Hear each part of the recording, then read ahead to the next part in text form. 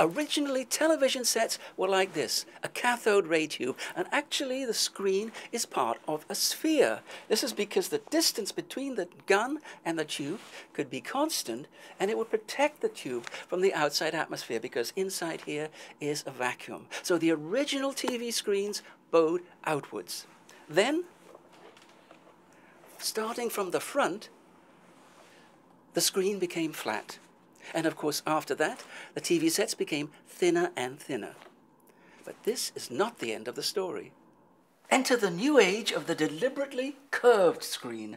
This time it's bowing inwards and not outwards, and there are a number of these available today. To get the main advantage from the curved screen, you need to be in what's called the sweet spot. Imagine that light rays are coming off the screen at right angles to the surface, because of the curvature, they would all meet somewhere. This is the sweet spot, the place to sit to get the most from the inwardly curved screen.